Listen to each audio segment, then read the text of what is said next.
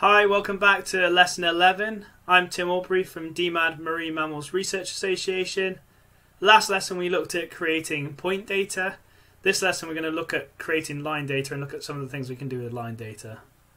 Okay, all I've done so far is I've opened up lesson 10, which is where we left off in the last lesson. And you can see we've got our digitized points. You don't actually need that, it's just for a bit of reference. Um, all you do need is to add the Google Satellite, which is from the XYZ tiles in the Google, uh, in the browser. Uh, if you can't remember how to do that, we did it a couple of lessons ago. So I'm just going to go and add a new layer for the line layer. So I go to Layer, Add Layer, sorry, Layer, Create Layer, New Shapefile Layer. And I'm going to go into File Name. You can see I've already got a line shapefile, so I'm just going to call this Lines 11 because it's less than 11. Under geometry type, we don't want point this time, so we're going to go to line. And I'm just going to add a couple of text fields as I showed you last lesson. The first is going to be type, because we're going to add several types of line, and we want that to be text data. So add to fields list, and then I'm going to also add width. And that's going to be added to our fields list as well. This time it's going to be decimal number. Uh, precision just means how many decimal points we want afterwards. So I'm going to do that and click add to fields list again. And then just click OK. And you'll see that in our layers, our lines data has popped up. Um, the first thing we're going to want to do is go to our digitizing toolbar, which is this one here. If you can't find it, just right click on any grey space and turn the digitizing toolbar on. And I'm going to click toggle editing, which illuminates a load more options, including this one, which is add line feature. So I'm just going to add a line feature.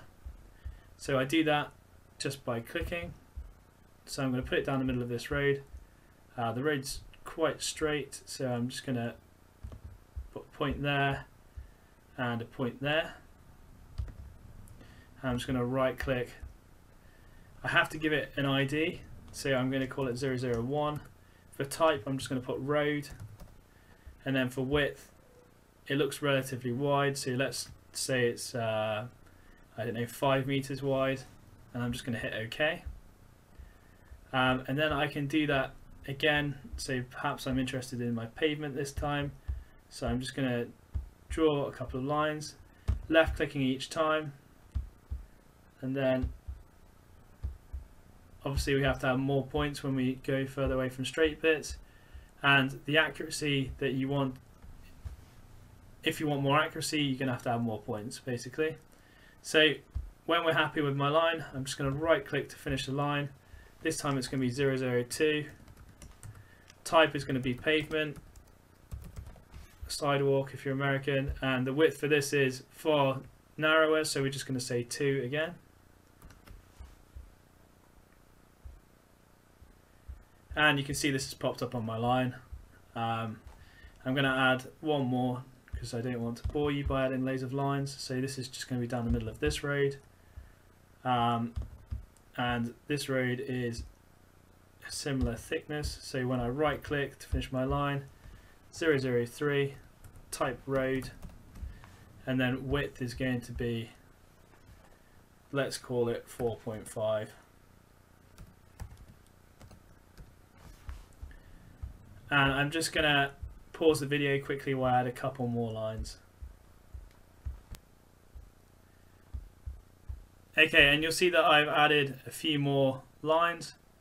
Um, so I've did a bit more of the pavement or sidewalk, uh, and I've drawn around the perimeter of the scrub and the grass. I've just done it very quickly, just to sort of show you a point. Uh, so we just want to make sure we click toggle editing again. It'll prompt us whether we want to save. Just click save. And now if we double click on the line here, it'll bring up our properties and we'll go to symbology, which is this little paintbrush, and we can begin to edit some of our lines to make them different colors. Now, the first thing I want you to do is just go to categorized. We're going to go to value type. So click on type and then click classify. And same problem with the lesson last time, I've written some of them with a lowercase and some of them with an uppercase. So I've got two categories of road. So just be careful of that. And we can change some of these colours to make them a bit more representative. So grass we can do green. Um, let's do our pavement sidewalk in grey. Um, and we can click OK. Road, let's do as black. Same with this one.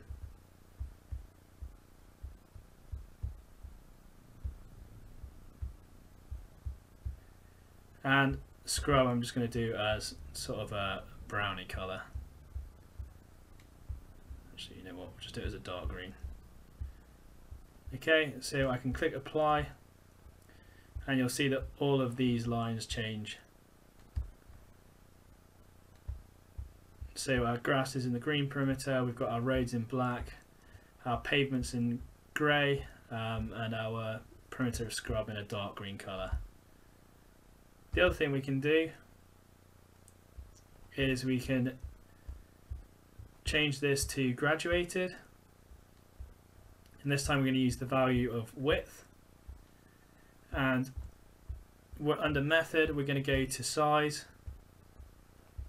and we only have three real different sizes so we can go to equal count quantile and change the class size to 3 click classify. Okay, it's done it for us. So this means we've got our pavement or sidewalk at 1 and then we've got our so I'm just going to change this slightly because some of our sidewalks were 1 so I'm going to change this to 0.9 so it won't display these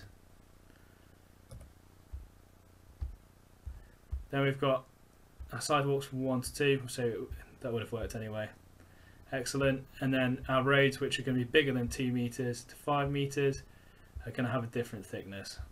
Okay, so we can apply that, and you'll see that our thicknesses are a little bit out because they're a bit narrow. So let's just up this to uh, say 5. Okay, and that's far more representative. And we can change, these are our boundaries, so we can change these to green so these are the perimeters of our grass and scrubland. Uh, these are our pavements or sidewalks which we can make grey in colour.